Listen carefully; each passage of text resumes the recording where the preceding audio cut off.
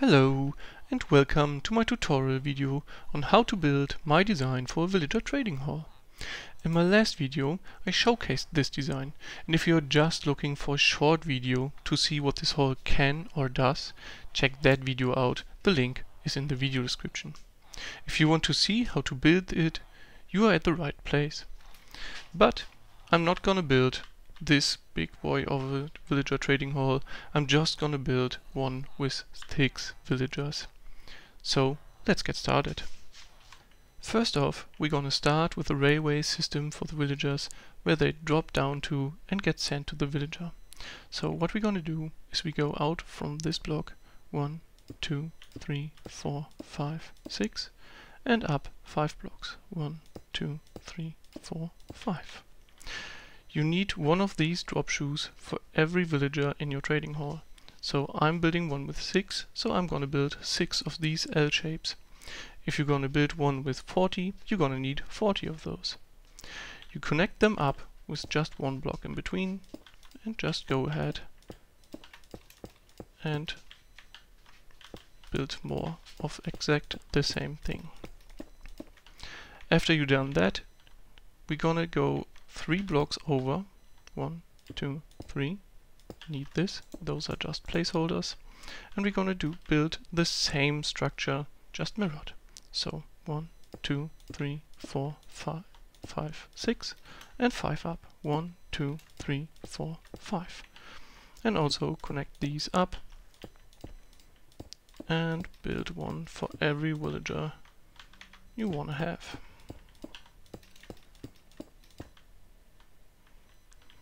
In my case, it looks like this. Next up, we're going to connect the left and the right side from the villager trading hall. So we go in two and come out one and here one and then we're going to connect both of them.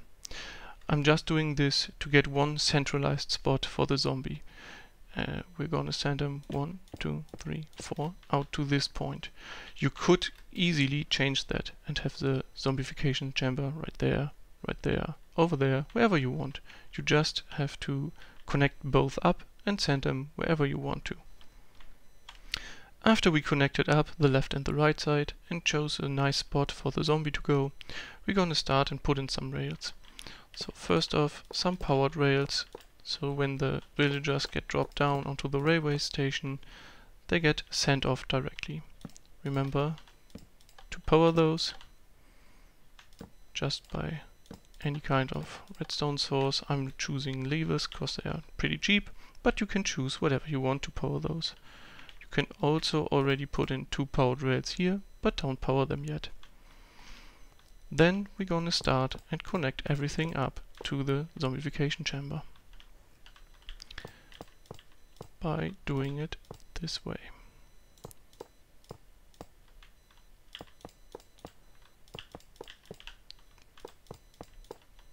The way the rails are placed now are all um, all go into this one direction right here.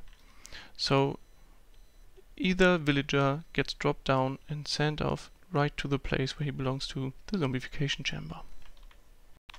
Next up, the zombification chamber. On this block will later sit the, the zombie. Then we are gonna add three blocks here, and a row of blocks behind this. And then we add another row of blocks. Ne next, the observer going in here with a piece of string in front of it. We're gonna add a sticky piston facing down behind the observer and a redstone block with a one air, black, air block gap between this. After that, we're gonna use some blocks over here. This is temporary and not needed. Then we go down one row and go over to here. This would also be not needed. And one block here. So we're gonna add a redstone line 2 on this. Those are getting powered by the redstone block, powering the rails. Then we're gonna drag down the redstone line to here powering this block, we're gonna add a redstone torch. This is gonna get uh, no signal since the block is powered. then a temporary block here and there, and a sticky piston right here. Um, next up we can enclose the zombie so we can't go anywhere like this and one additional row and remember to block off sunlight from the zombie. Since we also don't want our freshly converted zombies to get burned, we're gonna add a block here and enclose him like so. This block needs to be um, an air block so the piston can push over the rail. This just makes sure that when the villager comes in, um, the piston pushes out the rail and the villager can't get back sand off. With the zombie chamber done, we want to get in the floor for the actual trading hall. To make that happen, we're gonna add some observers on this pillar facing into the trading hall on both sides. Then we're gonna add some temporary blocks, remove two of those and add a piston there. Those pistons are the places where the villagers actually we will stand on. Don't need those. Like so and do this for here the same. There we have it. Like this.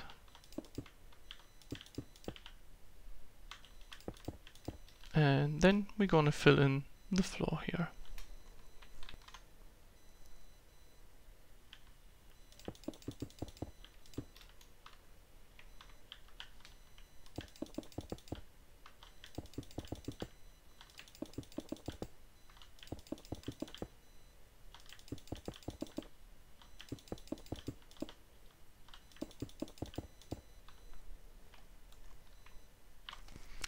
After adding the floor, it should look a little something like this. Next up, we're gonna get in the working stations for the villagers. This can be anything you want. I'm just going get some classic lecterns here. So then we go underneath the floor and add right here next to the pistons three blocks, one block gap, two block since we don't have any more uh, like trading hall cells. If you had more, like three, one block again, three, and so on and so forth. Just make sure not only three and then one block gap. So we do this for the other side as well.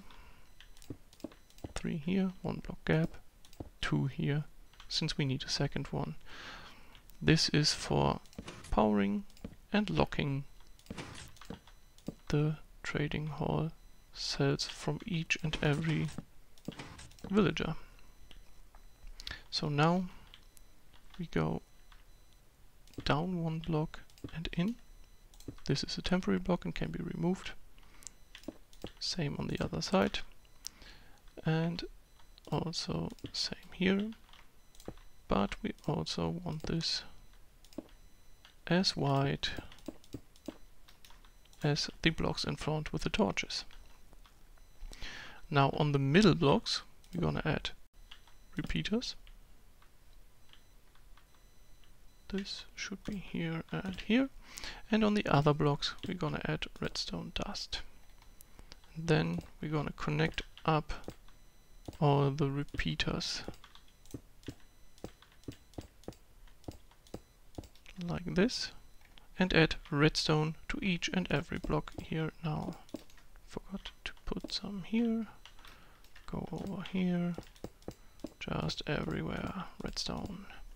So the repeaters are there to power these torches. These torches are the locking mechanism. They power the block in between the pistons. So in this case, here we have a three cell. The middle one powers both pistons and so when you press buttons nothing will happen. Speaking of buttons, we're gonna add buttons uh, on top of this redstone dust. This should be one block gap of your workstation, there, there, there, there, there, and there. And now we have our basic redstone done for the inlay. Next up, we want to connect up the locking mechanism to the single trading cells from the villagers. So we go down two blocks, like here, two blocks gap, go out in line with the last block of your trading hall floor and add additional three blocks. One, two, three, then one over and up. And we're gonna extend this to six blocks, so one, two, three, four, five, six. And then we get an sticky piston facing upwards and an observer facing into this line we just built, atom block over here, and a sticky piston facing into the locking mechanism. We then can add a redstone line on the whole thing, like so, and do this for the other side as well. Sticky piston right here with a block on top. One, two, three, four, five, six. Put in the observer. Then we go one down and out. And connect this up and add redstone dust on top of it. Get this block down again and add a redstone block right here to power the whole thing. So now the middle torches should be depowered and the buttons control the pistons where the villagers are standing on. While I was recording this video, I got a YouTube comment from Serviro saying that the build is directional. If shifted by 90 degree, this thing isn't working anymore, which is indeed true. So here's a quick fix how to prevent it from being directional. You just have to move these observers and pistons by one block over like this and like this add another block here and here and a repeater facing into the piston this is a fix for the directional issue. The other thing that happens with directionality is, um, let me show you right here, rails are also directional. So in this case, the normal position for the cauldrons has to be up. So when powered, the rail shows in this direction, leading to the next cell.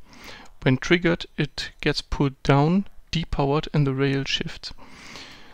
On this side, it has to be on the lower side and pulled up before we are sending in the villager. So always make sure that the cauldrons are in the right position. Test this if needed. Cauldron either up or down. Now we want to build the logic to sort back the villagers to the cell where they came from. For that we are placing a note block behind the observer, then one observer looking into the note block and one down looking into the note block. Then we are placing two um, placeholder blocks to place an observer facing upwards and then two more, three more placeholder blocks and a piston facing downwards. Not a sticky piston, a regular piston. After that we came out here one block and place a sticky piston like so. This block can be gone. Then one block here, redstone dust on top and an observer looking into the redstone dust. Sticky piston on top and a cauldron. So what this now does is when we press the, the button, the piston retracts, the observer uh, sees the change in block state gives a signal into the note block and this observer sees the uh, uh, signal and this observer. So this one gives a signal into our locking mechanism, so that the other buttons can't be pressed and we don't clog up the system. And this one gives a signal through this block into this redstone dust. This observer sees the block change and this piston spits out the cauldron one block up. There we have it. The cauldron is now one block further up and the redstone block is retracted. That means our um, locking torches are now back on and we can't send any further villagers down into the railway. We do this now for each and every um, cell and um, this is a part where you can easily expand it. Just build this over and over again for each cell. At this point we can send down with the press of the button the villager down to the rails to the zombie and the system is also locking itself so we can send the next villager. But now we want to send the villager, if he gets zombified, back up to the place where he belongs to. So for this we are placing some blocks here, like this, and a comparator reading out the cauldron. Then we need one more block like here, a powered rail, a detector rail on top of the piston, like this. Make sure the um, the rail is facing this way, so when the minecart comes, it goes over and is not going into the cell if not triggered. Powering this and then we are going up here using powered rails also here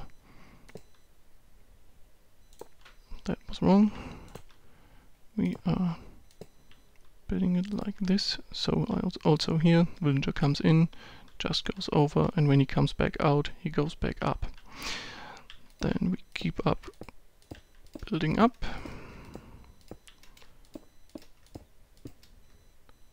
like this and powered rails so you can make it the way up. So at this point there are variations possible. I show you now a different version that I've shown in the testing world. It looks like this. Uh, don't forget to power the rails. Um, so now we have a detector rail here, some redstone, and we use a dispenser right here.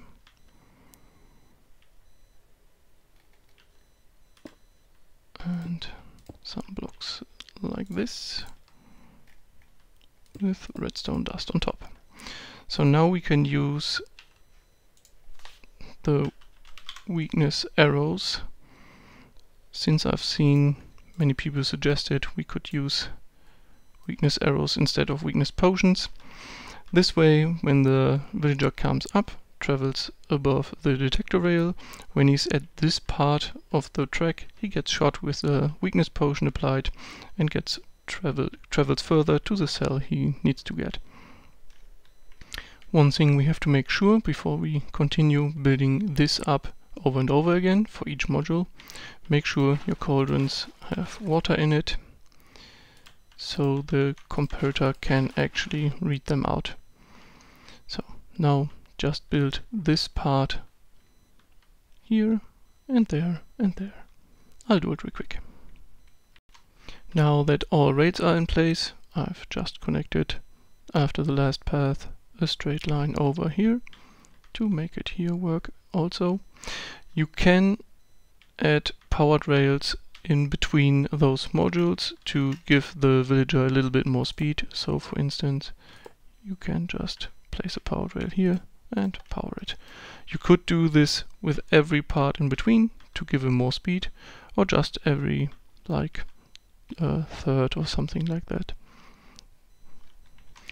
At this point it would be a good time to check the directionality of the rails. To do so you can just right click the redstone dust and when the cauldron gets uh, pushed up the rail should now bend to the cell where we triggered the redstone dust. And when pulled back down, it goes back leading to the next cell. On this side, I tested it already, and if pulled up, it's going the wrong way. So what we're gonna do is we're gonna grab our cauldron and water and change the not the the default state of the cauldrons moving them up like this. So now the rails are in the right place and facing to the next cell except the last one. This one won't change direction. If no cell is triggered the villager will always go to the last cell. And now if we would press the button it would push down, pull down the cauldron and the villager would get sent in the right cell. Always make sure to check these things before you actually use the um, trading hall. Now we are almost done with our trading hall. The only thing left to do is build a little drop chute for our villagers when they came back from the railway up top so they don't just fly into your trading hall, but they get nicely fit back into here. Also make it a real drop chute so we can't just slide away when he comes back into his place. So now our villager trading hall is finished.